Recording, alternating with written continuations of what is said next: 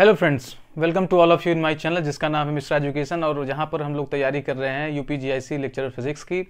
और काफ़ी टॉपिक हम लोगों ने डिस्कस कर लिया है। हम लोगों ने फ़िलहाल अभी इलेक्ट्रिसिटी पोर्शन स्टार्ट किया हुआ है, जिसमें हम लोगों ने चार, पाँच या छः टॉपिक डिस्कस किया हुआ है।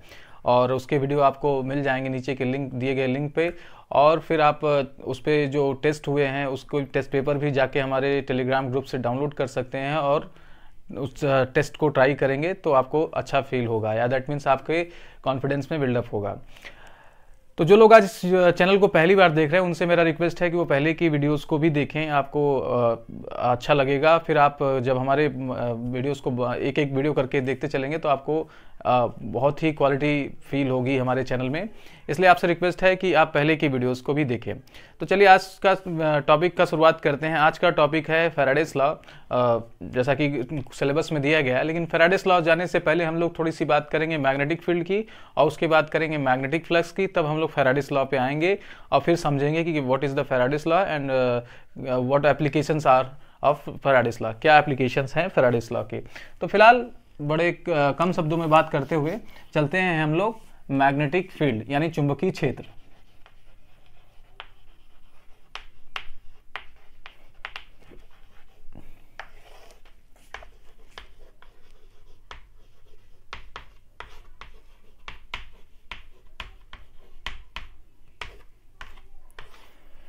तो चलिए ये होता क्या इसके बारे में हम लोग समझते हैं। तो शुरू दो, दोस्तों इस टॉपिक को शुरू करने से पहले थोड़ी सी बात हम पीछे की करना चाहेंगे। तो सबसे पहले ओरेस्टेड ने ये देखा कि करंट का मैग्नेटिक बिहेवियर होता है। यानी जब भी उन्होंने किसी करंट कैरियर कंडक्टर के पास यानी कोई कंडक्टर जिससे करंट पास हो रहा है उसके पास मैग्नेटिक कंपस रखा। तो मैग्नेटिक कंपस में देखा उन्होंने कि डिफ्लेक्शन होता है। और जब करंट को स्टॉप कर दिया तो जो डिफ्लेक्शन था वो ज़ीरो हो गया यानी जो आपके मैग्नेटिक कंपस में जो विक्षेप था वो ज़ीरो हो गया। तो इससे कंक्लूड हुआ कि जब भी मैग्नेटिक कंपस क्या होता है? हमें पता है कि जब भी मैग्नेटिक कंपस कभी रोटेट करता है या डिफ्लेक्शन देता है तो वो एक मैग्नेटिक फ़ील्ड को शो करता है। लेकिन जब उन्होंने देखा कि कंडक्टर के क्रॉस पा, पास में रखा और करंट कैरी कर रहा था तो एक वहाँ पे डिफ्लेक्शन दिखा। लेकिन जब करंट को स्टॉप कर दिया, यानी कंडक्टर में करंट को रोक दिया तो डिफ्लेक्शन ज़ीरो हो गया। इससे उन्होंने बताया कि मैग्नेटिक फ़ील्ड का करंट का मैग्नेटिक फ़ील्ड बिहेवियर होता है। ये ओरेस्टेड ने फाइंड किया। इसके कुछ दिनों बाद मतलब बहुत ये फिनामिना उन्होंने देखा। उसके बाद उन्होंने रॉयल सोसाइटी ऑफ़ साइंसेस को रिपोर्ट किया। कि मैंने ऐसा कुछ किया है। उसके हफ़्ते, दो हफ़्ते या तीन हफ़्ते बाद एम्पियर्स बड़े एक साइंटिस्ट हुए। आपने नाम सुना होगा, जिनके ऊपर करंट का यूनिट रखा गया है। तो उन्होंने बताया कि दो वायर्स के बीच में अगर करंट कैरी होता है तो उनके बीच में फोर्स ऑफ़ अट्रैक्शन या force of reaction force of repulsion देखने को मिलता है। यानी दो करंट कैरिंग वायर के बीच में इंटरेक्शन एम्पियर्स ने फाइंड किया। ओरेस्टेड ने इस जो पार्ट फिजिक्स में ये जो नया पार्ट आया, उसको इलेक्ट्रोमैग्नेटिज्म का नाम दिया, फिर वहीं एम्पियर ने इसका नाम इलेक्ट्रोडायनामिक्स दिया। आपने अपने ग्रेजुएशन क्लासेस में इसको पढ़ी होंगी। तो इलेक्ट्रोमैग्नेटिज्म नाम ओरेस्टेड ने दिया और इलेक्ट्रोडायनामिक्स का नाम उन्होंने एम्पियर्स ने दिया।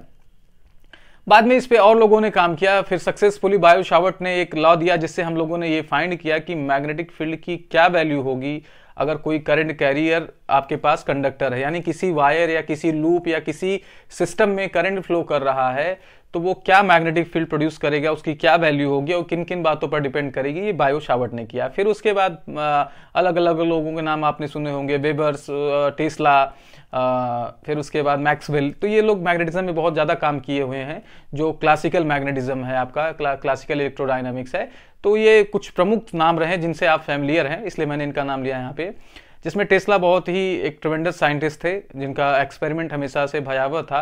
इस वजह से उनका बहुत ज़्यादा नाम हमें देखने को नहीं मिलता लेकिन वो आ, आ, मतलब उनके एक्सपेरिमेंट्स जो थे वो बहुत ही एक तरीके से इंटेलिजेंट एक्सपेरिमेंट हुआ करते थे। तो इस वजह से वो लेकिन उसका जो इम्पैक्ट होता था दैट मीन्स किसी भी एक्सपेरिमेंट या किसी भी साइंट रूल का या किसी भी साइंटिफिक खोज का एक मेरिट होता है और डिमेरिट होता है, दोनों होता है। मोबाइल का हमारे जीवन में इस्तेमाल अच्छा भी है, बुरा भी है। वैसे ही टेस्ला के रूल्स का जो डिमेरिट था वो कहीं ज़्यादा था और जब उस टेस्ला का दौर था तो वर्ल्ड वॉर का टाइम हुआ करता था। यानी सेकेंड वर्ल्ड वॉर या फ़र्स्ट वर्ल्ड वॉर के टाइम का टेस्ला थे। तो उनके एक्सपेरिमेंट का कहीं दुरुपयोग ना हो, इस वजह से उन्होंने बहुत ज़्यादा अपने एक्सपेरिमेंट को उजागर नहीं किया। और और हमारे आज के जो साइंटिस्ट में उनका नाम जो है वो बहुत कम मतलब कम इम्पोर्टेंस के साथ लिया जाता है। लेकिन आप याद रखें, बहुत ही अच्छे साइंटिस्ट थे और अच्छा उन्होंने काम किया हुआ है। जहाँ तक आप जान सकते हैं कि जो टेलीफोन का, आज मोबाइल फ़ोन का कॉन्सेप्ट था, वो टेस्ला का दिया हुआ एनोस्फियर का कॉन्सेप्ट कि कि पृथ्वी के चारों तरफ़ आइनोस्फीयर है, जिसमें अगर हम क्या करें, अपने सेटेलाइट्स को सेट करें तो हमारा कम्युनिकेशन सिस्टम बिल्डअप हो सकता है। तो ये सारे कॉन्सेप्ट टेस्ला के दिए हुए हैं तो we are very thankful to him ऐसा नहीं है कि उन्होंने कुछ नहीं किया। खैर, हमारा ये इन सब मुद्दों में नहीं इंटरेस्ट है। हमें जानना है कि किस तरीके से मैग्नेटिक फ़ील्ड प्रोड्यूस होता है और किस तरीके से मैग्नेटिक फ्लक्स और फेराडिस लॉ है। सॉरी अब बात करते हैं हम थोड़ी सी मैग्नेटिक फ़ील्ड के बारे में बात करते हैं। पहले तो मैंने ये बताया कि किस तरीके से मैग्नेटिक फ़ील्ड और मैग्नेटिक मैग्नेटिज्म में काम हुआ और किन्होंने क्या क्या नाम रखा। अब बात करते हैं मैग्नेटिक फ़ील्ड के बारे में। तो मैग्नेटिक फ़ील्ड के बारे में अगर आप देखें तो मैंने पहले भी वीडियोस किया हुआ है, बायो शावर्ट लॉ और एम्पियर्स लॉ उसमें मैंने इन सब बातों में नहीं किया, बात किया। सीधा मैंने डायरेक्ट क्या किया मैग्नेटिक फ़ील्ड कैसे फाइंड करना है। लेकिन चूँकि हमें Gauss law of electro Faraday's law पढ़ना है फेराडिस लॉ में मैग्नेटिक फ़ील्ड और मैग्नेटिक फ्लक्स का कॉन्सेप्ट क्लियर होना चाहिए।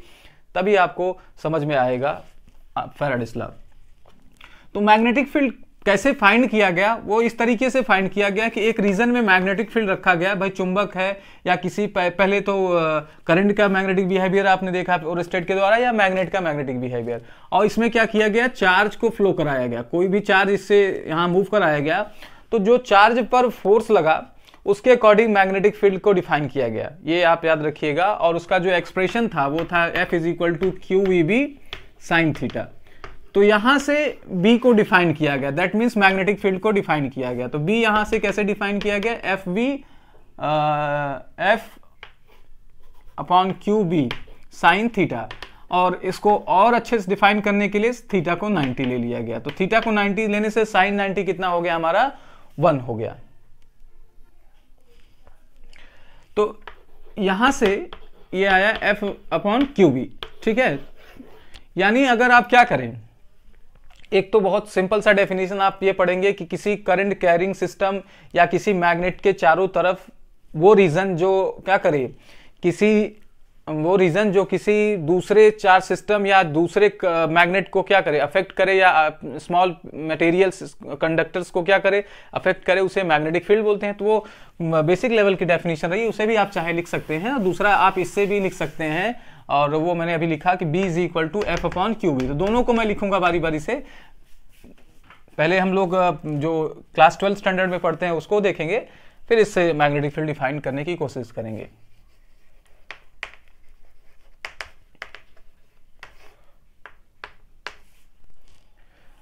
तो डेफिनेशन क्या बन सकती है? It is the space around a magnet comma या स्लेस अथवा जो कह सकते हैं आप current carrying system in which another या in which a body feels force forces force of attraction हो सकता है फोर्स ऑफ़ रिपल्सन हो सकता है, या इसे शॉर्ट फॉर्म में हम लोग कह सकते हैं इंटरैक्शंस यानी किसी चुंबक अथवा किसी चुंबक अथवा धारावाही चालक के चारों ओर, के चारों ओर का वह क्षेत्र, जिसमें वह दूसरे चुंबक, कॉमा चालक, अथवा धातु पर बल लगाता है।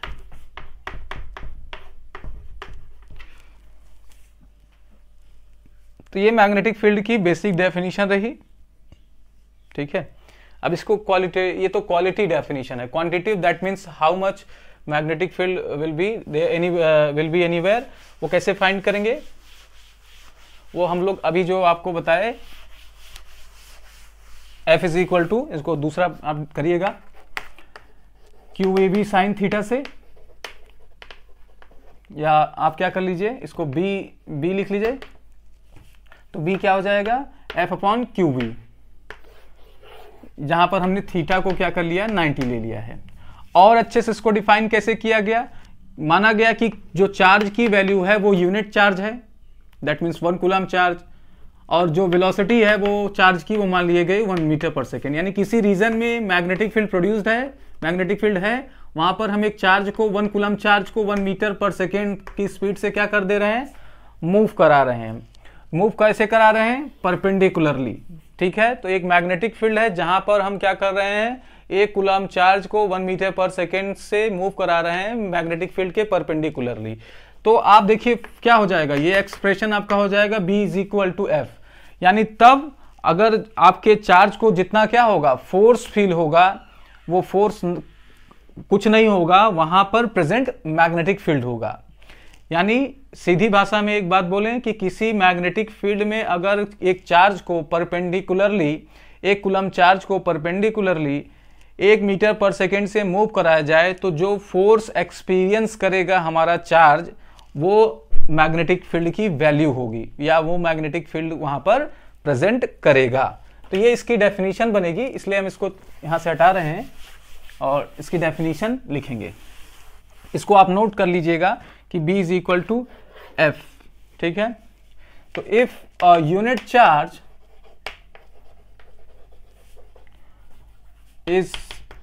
is enters enters in a magnetic field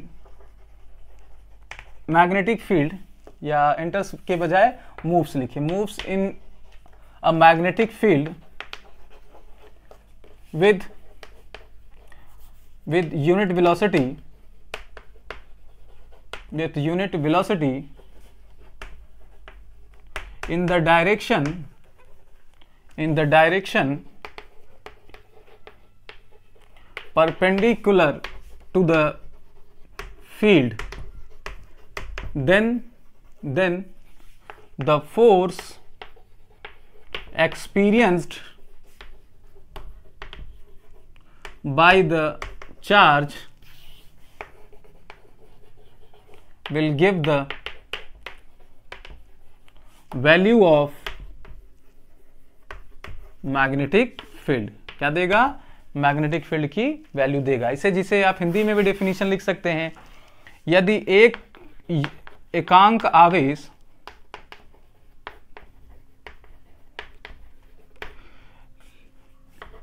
एकांक वेलोसिटी एकांक वेग से किसी चुंबकीय क्षेत्र में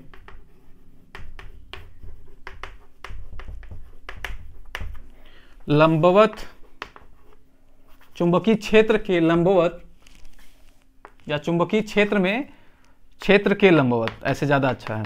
क्षेत्र के लंबवत गति कर रहा हो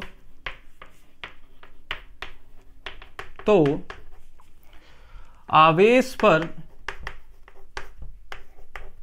आवेश पर लगने वाला बल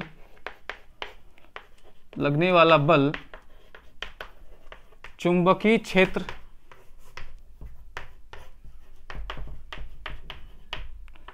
के मान को दर्शाता है या बताता है।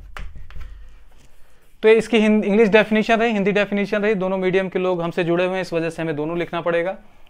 बट अगर आपको समझ में आता है तो अपनी भाषा में भी आप लिख सकते हैं, जैसे भी आपको समझ में आए। तो ये बातें रही मैग्नेटिक फ़ील्ड की, ठीक है? डेफिनेशन की। इसे हम लोग बी से रिप्रेजेंट करते हैं एज यूजल जैसा कि आपने क्लास ट्वेल्थ से शुरू किया होगा पहली बार पहली बार तो आपने क्लास टेंथ में देखा होगा। फिर उसके बाद आपने क्लास ट्वेल्थ में भी पढ़ा। तो इसके बारे में इसे it is represented by B यानी इसे बी से प्रदर्शित करते हैं। दूसरा it is a vector quantity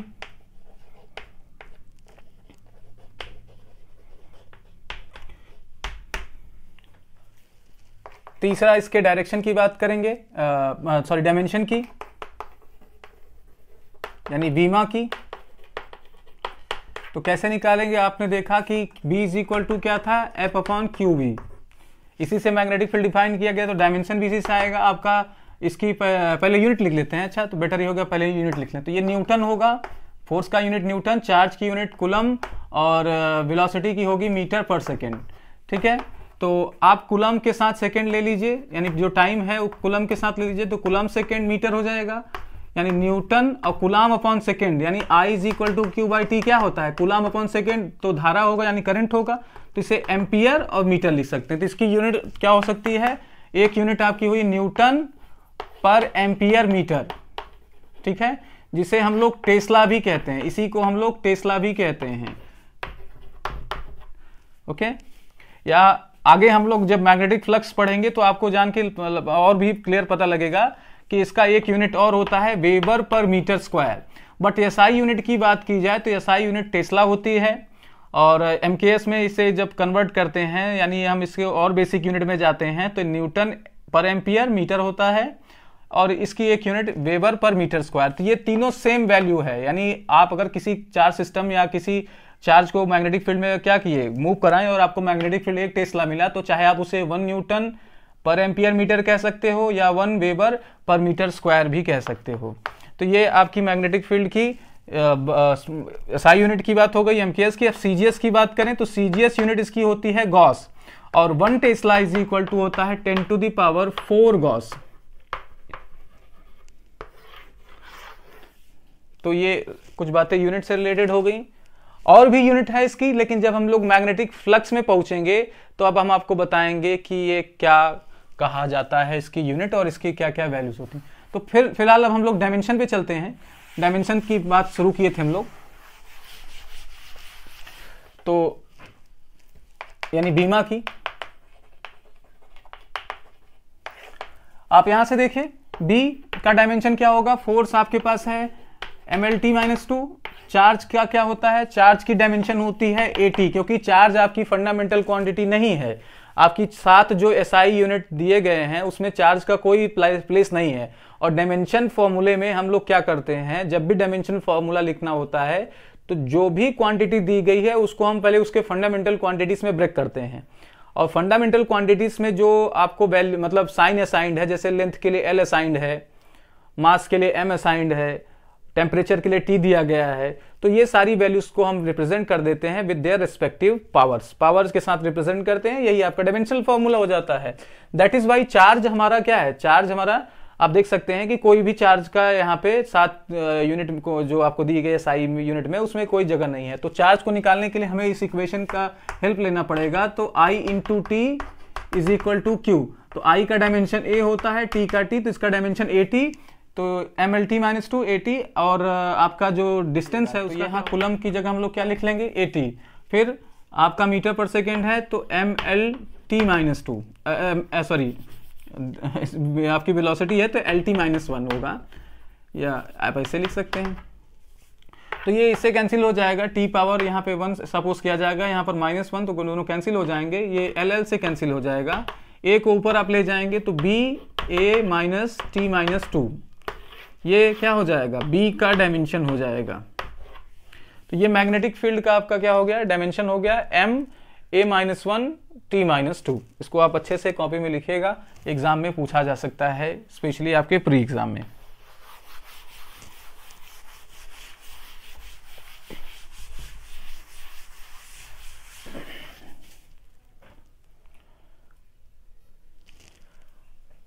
अब बी को, यानी मैग्नेटिक फ़ील्ड वेक्टर को दो तीन नाम से जाना जाता है। एक आपका इसका नाम है मैग्नेटिक इंडक्शन वेक्टर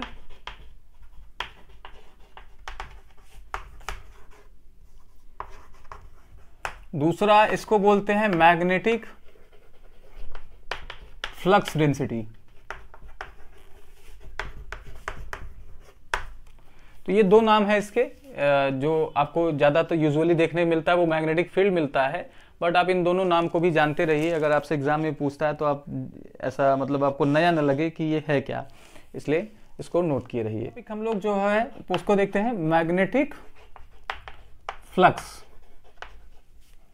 यानी चुंबकीय flux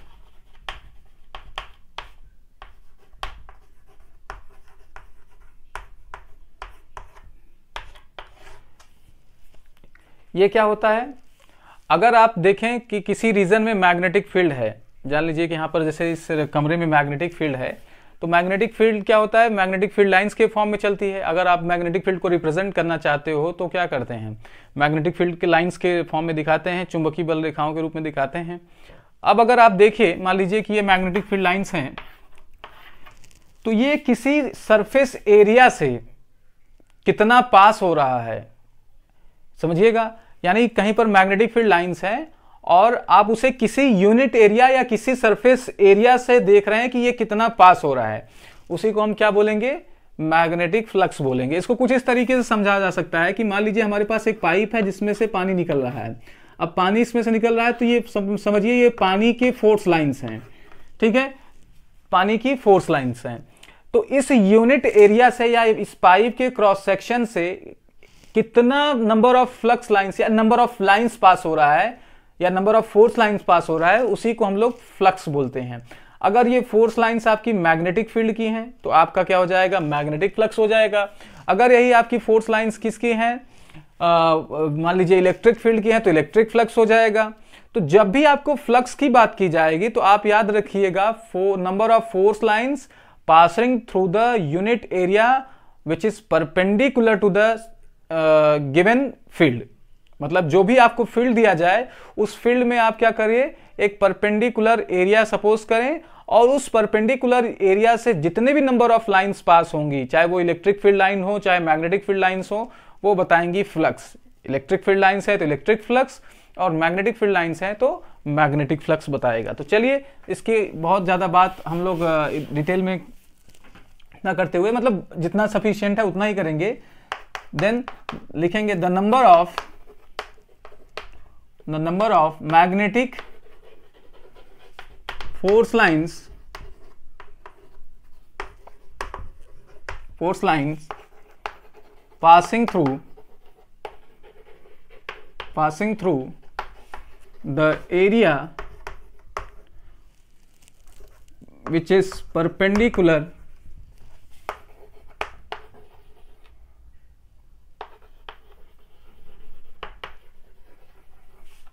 to the field is called is called magnetic flux यानी किसी लंबवत सतह से गुजरने वाले चुंबकीय बल रेखाओं की संख्या को चुंबकीय फ्लक्स कहते हैं। ठीक है? इसे फाई से रिप्रेजेंट किया जाता है।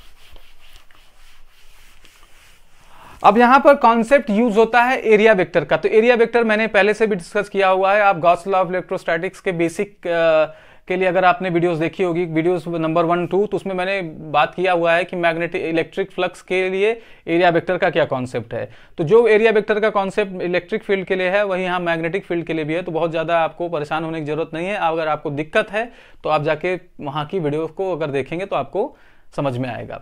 फिर भी एरिया वेक्टर क्या होता है? एक छोटे से फॉर्म में बताते हैं कि अगर आप मान लीजिए हमारे पास कोई सरफेस एरिया है अगर इसका हमें एरिया वेक्टर लेना होगा तो एक एक एरिया वेक्टर हम इसके परपेंडिकुलर आउटवर्ड डायरेक्शन में परपेंडिकुलर आउटवर्ड डायरेक्शन में हम लोग क्या करेंगे? मान लीजिए इसकी टोटल एरिया एस है और इस ए, इसका जो वेक्टर ले रहे हैं उसका डायरेक्शन आउटवर्ड लेंगे तो ये एन कैप एस जो होगा ये रिप्रेजेंट करेगा एरिया वेक्टर अगर छोटा एरिया ले रहे हैं तो ये छोटा एरिया आपका एन कैप डी एस हो जाएगा। छोटा एरिया वेक्टर तो मैग्नेटिक फ्लक्स कैसे फाइंड किया जाता है? मैग्नेटिक फ्लक्स आपका डिफाइन होता है। पहले तो स्मॉल रीजन से बात करें। Small magnetic flux through the small region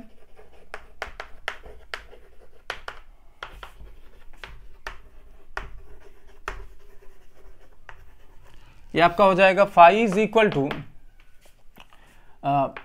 B dot D S D S क्या है आपका? एरिया वेक्टर बी यहाँ रिप्रेजेंट कर रहा है कि ये क्या है हमारा? मैग्नेटिक फ़ील्ड का फ्लक्स है।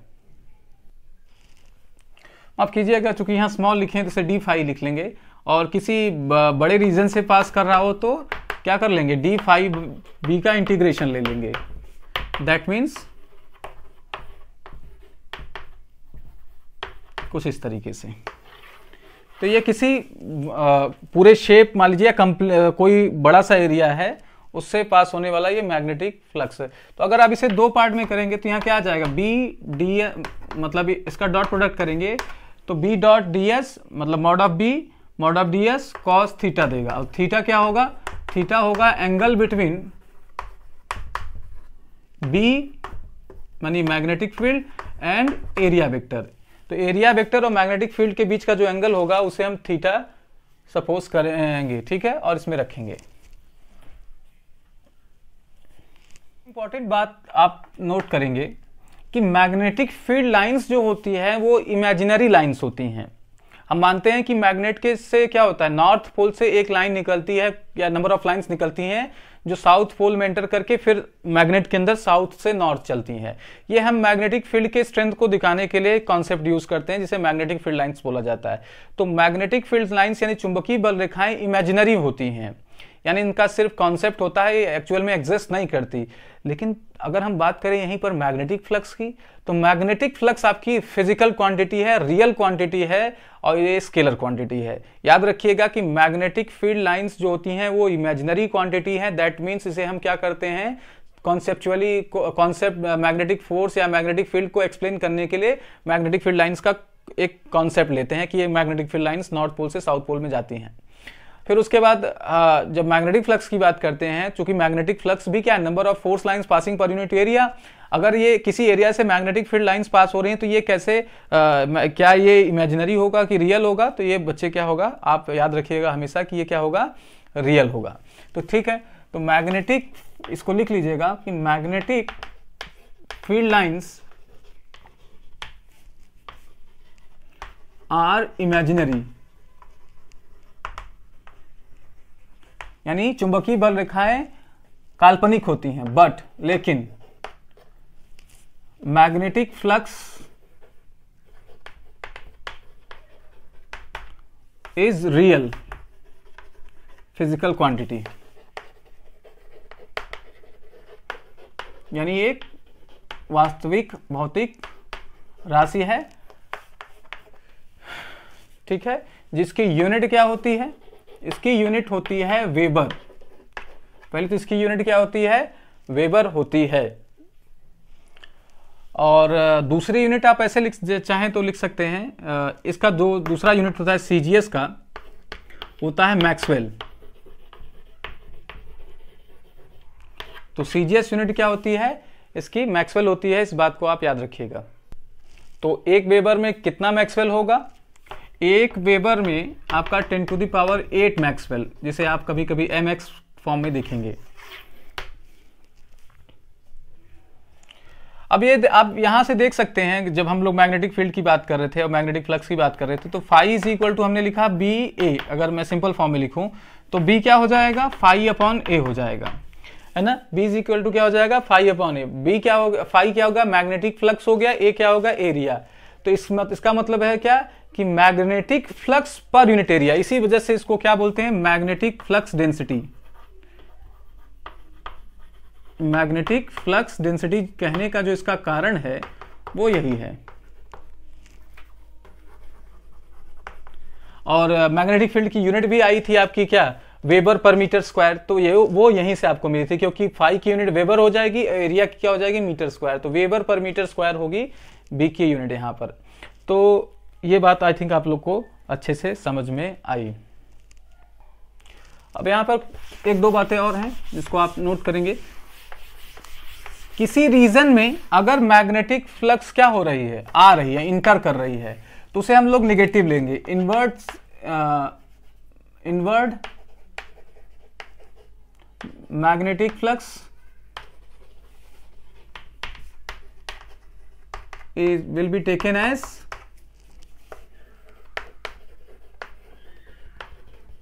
negative और वहीं आपका आउटवर्ड यानी बाहर जाने वाली जो मैग्नेटिक फ्लक्स होगी, वो होगी क्या? पॉजिटिव होगी। तो विल बी पॉजिटिव ये बात आप याद रखेंगे, इसके भी आपको क्वेश्चंस देखने को मिल जाएँगे। अगर किसी रीजन में नेक्स्ट बात, अगर किसी रीजन में इन अ रीजन आपका बी ज़ीरो हो तो इट इज़ नेसेसरी दैट कि फाइव भी क्या होगा? ज़ीरो होगा। ये नेसेसरी है। बट दूसरा ये कि अगर कहीं आपका फाइव ज़ीरो है, यानी मैग्नेटिक फ्लक्स ज़ीरो है तो ये हमेशा इट इज़ नॉट नेसेसरी ये ज़रूरी नहीं है। याद रखिएगा कि मैग्नेटिक फ़ील्ड भी क्या हो? ज़ीरो हो।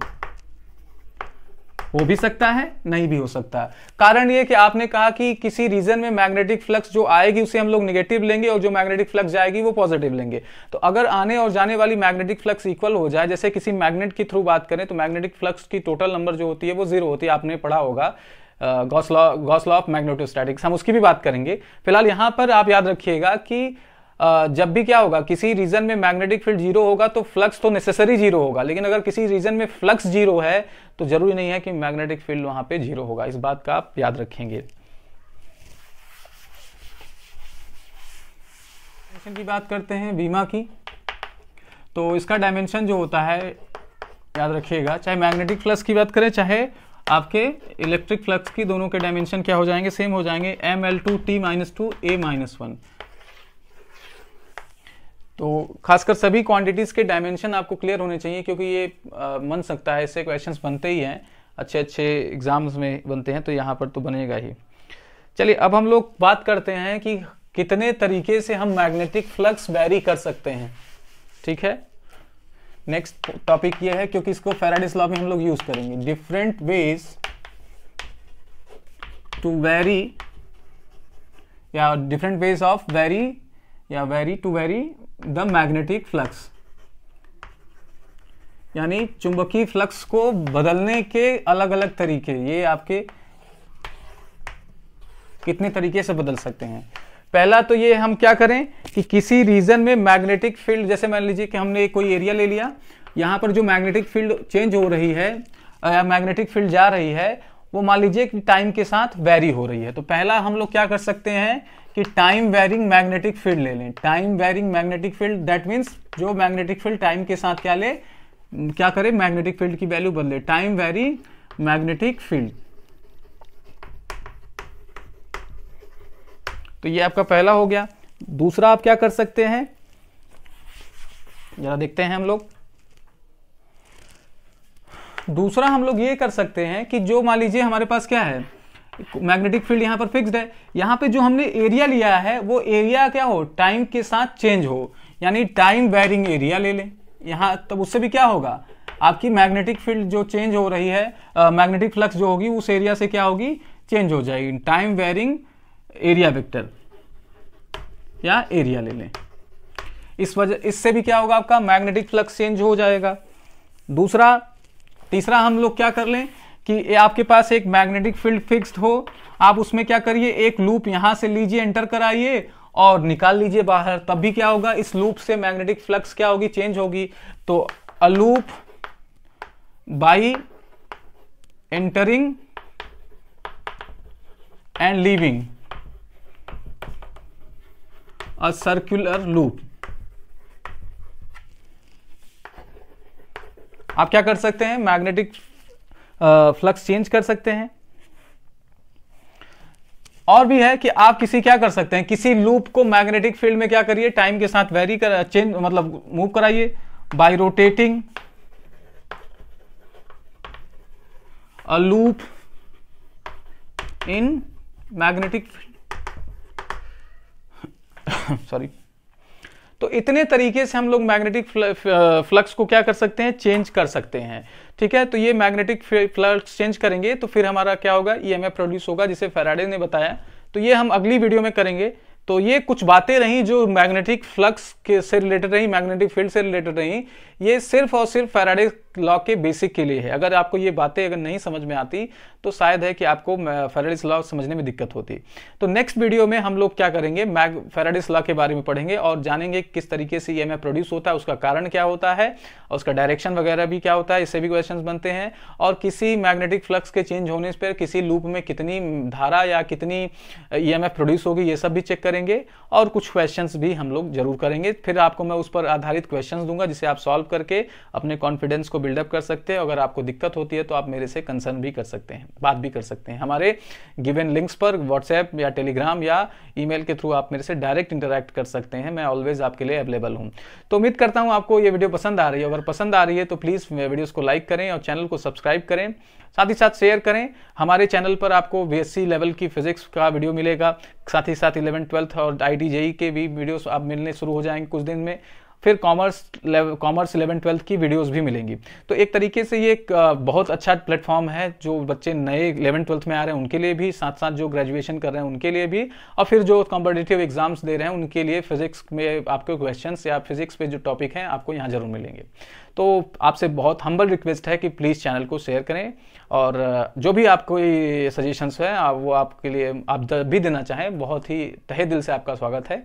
आप दे सकते हैं। चलिए आज के लिए इतना ही। मिलते हैं नेक्स्ट वीडियो में। धन्यवाद।